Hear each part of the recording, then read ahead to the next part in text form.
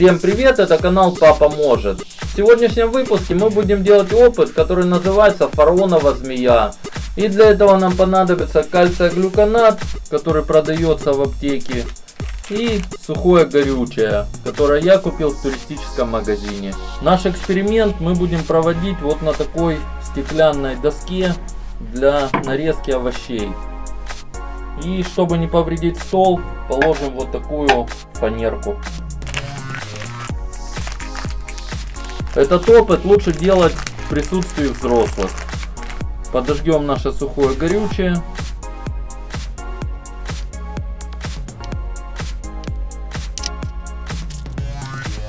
И положим на него таблетку кальция глюконат. Остается только ждать